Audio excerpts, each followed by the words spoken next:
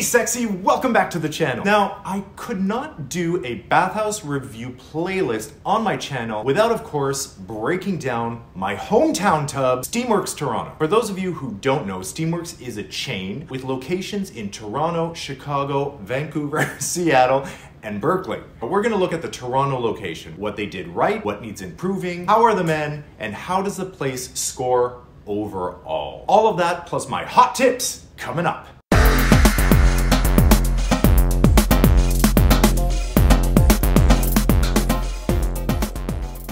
Let me know down in the comments, have you ever been to any of the Steamworks locations, especially the Toronto one, and how was your experience? And if you want to hear some salacious personal stories from my time at Steamworks, you can find my OnlyFans link in the description below. Okay, so let's just jump right in. Steamworks used to be the spa on Maitland. And the spa on Maitland is the bathhouse that I used to work at here in Toronto. So it was, it's the same location, but when you go inside, it's completely changed, completely renovated. The location could not be better. It's in the very heart and soul of the gay village in Toronto. It's on Church Street, just south of Wellesley. It's super easy to get to, whether you are walking or biking or taking a subway, because Wellesley Station is like two seconds away. It's open 24 7, 365 days a year, the pandemic notwithstanding. The entrance is in an alleyway just off of Church Street, and it's kind of private because at least you're not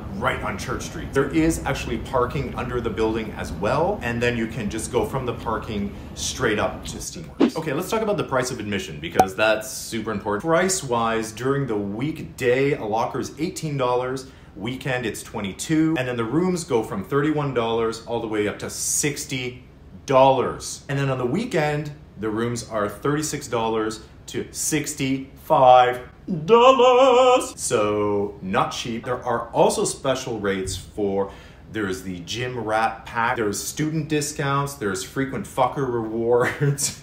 if it's your birthday, you get a locker for free. Now remember my hot tip, do not bring valuables to the bathhouse. However, in this case, Steamworks have lock boxes that are behind the cashier. Now the cashier is gonna give you a towel, a key, and a remote control. So everything is really wiped down and sanitized, especially these days. But hot tip, bring hand sanitizer because it's still a bathhouse. I mean, right? Okay, let's talk about the staff. Generally speaking, the staff are professional at Steamworks, which is great because that's what you want. But I will say, having come off the review of doing the sauna cruising in Medellin, if I was gonna compare the staff there versus the staff here, I would say the staff there was more friendly. They were more accommodating. There was more smiles going on. Okay, let's look at the lay of the land. Everything in Steamworks is on one floor. When you first walk in, you see the lockers just to the left of you. Now the locker area is well lit, which is what you want. It's not too bright that you're like, ah, I see everybody's everything. The lockers are clean, they're a good size, really at this like crossroads of the whole bathhouse, which I think is really good because when you first get there, you don't know who's there. You're curious about who's there. And standing at your locker, undressing, you can really see a lot of people coming and going. It's like Piccadilly Circus.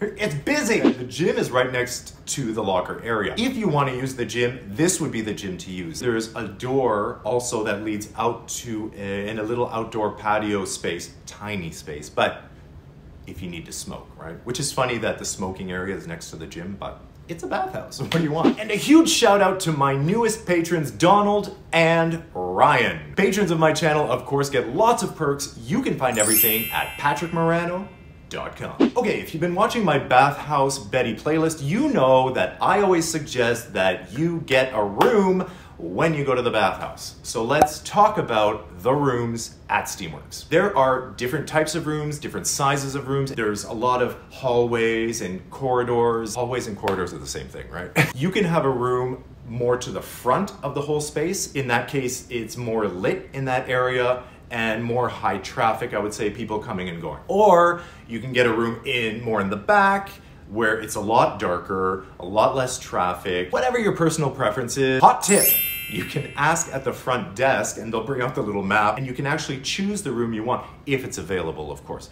you can request a room number as long as it's in the room type and price range that you're willing to pay for. There's obviously the typical room where you open and the door is just like sliding beside the bed. There's hardly enough room to open the door. There's the, be- the bed uh, with the mattress and the pillow. Rooms have a TV up there, five stations playing porn. So you have your remote control. Under the bed, you have a little lock drawer that pulls out from under the bed, and then you can store everything, and it all tucks underneath your bed. So that's like a basic room. But the rooms get bigger and more complicated. Some have a sling in them. It just depends on, of course, what you're looking for do you need the sling? How much space do you need? And how much money are you willing to spend? Okay, let's move on to the wet areas. There's a couple of wet areas. The first one is more in the front. It's the main one and it's the one by the locker. The showers there are glassed. So you can shower and glass, you're looking down into the people that are all in the lockers. And then in the back, there's two jacuzzi hot tubs. There's a little one off to one side and then there's a big one in the back. These are so well located because if you want to cruise, you can just sit in the hot tub and just be like, yeah, I'm just I'm just enjoying a nice hot tub, minding my own business. And you're just watching everyone come and go. Also in that wet area, there is the wet sauna. Now the wet sauna is pretty dark and really sweaty. There's been a few times, maybe when I've been in there, I'll have to check my OnlyFans to know the truth, and it's just been too hot. So you can only stay in there for so long, especially if you're playing. Dry sauna is just across from the wet sauna. It's never really been that warm in there. Um, you're kind of just sitting in a room on a bench. Okay, there's also a wet area in the back of Steamworks. So if you are in the back and you don't want to come all the way to the front, the back is always going to be a little bit darker uh, with less traffic. It's all glass, so people can see in, you can see out. There are three dark areas at Steamworks Toronto. Three! to choose from. Okay, let's start at the front. When you go in there, this is the biggest one, and this one has the most options of things to do. In terms of the lighting level in there, it's pretty good because it actually has screens and they're playing porn. So it's you've got the ambient light from the screen. There's booths um, like private booths, doors, you walk in, it's standing room only. it's made for like one or two people. You go in there, you close the door, it has a little latch, and then there's glory holes between the booths. Just after that, there's another like little room that's open-ish and it has like a fuck bench just sitting there. Usually there's somebody lying on it face up or face down and there's a few people in that room. Uh, and then there's another big room right next to it where people are kind of mingling around. There's glory holes at eye level, and these people are standing. But Patrick, how are people sticking their dicks through the holes when the people are standing and it's at eye level? It's because there are stairs on either side that go up, and then there's like a platform. So people are walking back and forth on this platform and then sticking through these holes that are at eye level at the people that are standing below. Okay, for the second dark room, it's located in the middle of Steamworks. So there's really, there's like one in the back, one in the middle, and one at the front, which is great. They spaced everything out. no matter where you are, you can find a dark room. This one is about the same darkness as the front one. There's two rooms on either side. One is kind of open and there's like a little fuck bench in it. The other side has a door that you can close. In the middle of the room is the sling. That's the sling room. It's open on both sides.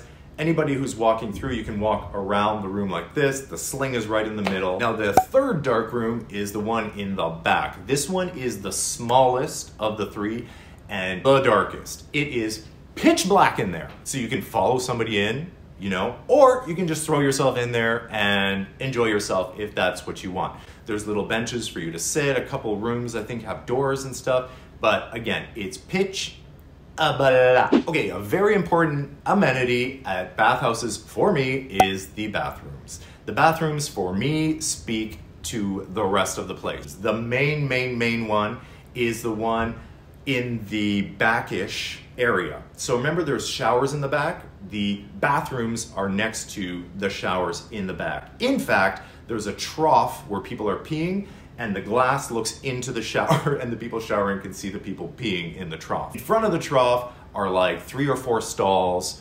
The stalls have douching stations uh, and then there's two sinks on either side. Hot tip, wear flip-flops. And I've said this before, but it just popped in my mind again because I know that the floors there, I've gone into these stalls and the floors are wet because people are douching, etc. So wear flip-flops. Now the other bathroom is all the way at the front. Like when you first walk in, you can go up some stairs and there's like a little bathroom. There's like a sink and a stall. Okay, here is another hot tip for Steamworks Toronto. Make sure to bring cash, okay? Because there are vending machines and actually the vending machines have good stuff in them like they've got gatorade drinks snacks and lots of sex things too. Like you can even buy like a douching tube. Like if you come unprepared, they only take cash. So make sure to bring some cash. Let's talk about some of the unique aspects of Steamworks Toronto that I personally super appreciate. Number one, the live DJ. He's not there all the time at all hours, but there's a live person playing music. Usually he's topless and just being all bathhousey, but it's fun. I think it's a nice thing to have. It adds to the ambiance. And the DJ is right in the video room. So again, you can enter on both sides, you can walk around. There's a bench going lining all the way around, and then there's screens, tons of screens, and they're all playing like different porn. So you can sit there, watch the porn, and it's kind of communal. People sit down, they chat, they start playing with each other. It's a good place also to sit and just watch people go by because it's very transient. People are moving from one side to the other side. Second unique thing that they have is a computer station in the very back. Okay, granted, there's only one computer. If you wanted to hop on the computer and get on one of the sex sites and chat with people and say, hey, I'm at Steamworks, I guess you could do that on your phone. But anyway, there's a computer in the back. The other unique thing that they have that I super appreciate is a little booth near the front, near the lockers in the gym in the front, um, and again, he's not always there at certain hours, but they have a representative from the AIDS Committee of Toronto who's there to answer any questions you might have. So there's condoms, there's lube. Another super cute thing that they have uh, at the back, near the back showers, is a water fountain, but it has mouthwash. it's so cool. Like the first time I used it, I was like, what the fuck? Let's talk about the men at Steamworks.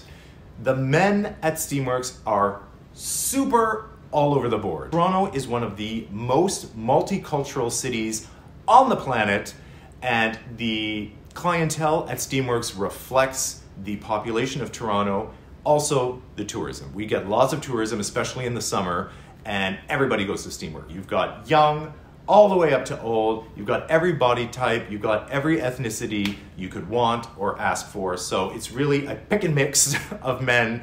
It's just a matter of finding who you want. Okay, so we've gone through the lay of the land. So let's break down the pros and cons. For me, the pros are the maze areas, especially the one in the front. It's so big, it has everything that you need. Um, and the fact that there's three of them, they all offer different things, so it's very versatile. The gym, I don't use it, but I'm gonna say it's a pro because it's got everything you need, everything a gym rat would want. The details, like the mouthwash in the water fountain, the guy from the AIDS Committee of Toronto, the DJ, those are the little things that really elevate this place and make it a better bathhouse. And then of course, the stalls in the bathroom with the douching stations is a pro, for sure. Now, some of the cons, I would say, one of the cons is that it's not cheap. So it's in Canadian dollars. For me, it's not cheap. I mean, it's not out of reach, but if you go often, um, it can add up, right? Also, the fact that it's just on one floor. I wish that there were two floors or it was just bigger.